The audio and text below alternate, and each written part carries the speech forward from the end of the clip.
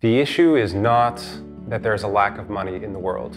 There are banks with trillions of dollars looking for new markets to enter and people to lend it to. There are billions of people in the world who could use that money productively to finance their businesses, to pay for their child's education, to smooth out income shocks and to improve their lives. The problem is that the banks don't know how to tell who they can lend the money to. They can't solve this fundamental problem of communicating credit worthiness. Psychometrics may sound new and may sound non-traditional, but really evaluating willingness and ability to repay is as old as finance and lending itself. It doesn't put the onus on the applicant to come with pre-existing information.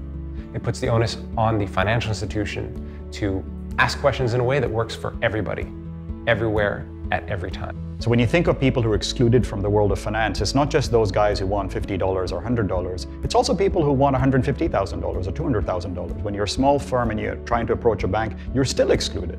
And if you look at EFL's portfolio, we pretty much have that entire coverage.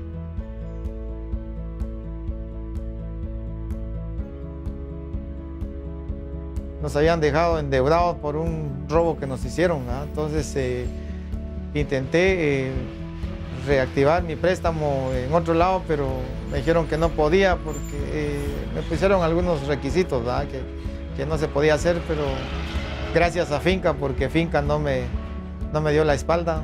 I used to come here and buy with cash, but now ndane card zvakunditira easy, especially nenguva yatiri kuti ndokwanisa kuuya ndotenga then iwill pay later ndichibhadhara muchana muchana saka necard zviri easy than kutenga necash chingoya uchitenga zvandaita kudhara Creo que la encuesta es, eh, es muy importante, ¿verdad? Porque ahí ellos evalúan y ven la capacidad de cada cliente, ¿verdad? Que tenga, ¿verdad?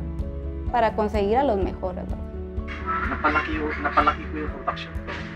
Yung kaluwagan na ibinigay nila sa, lalo sa payment, hindi na masyadong hassle pag bayad, pwedeng ng bayaran. So, kung hindi sa kanila, My credit score was a 4.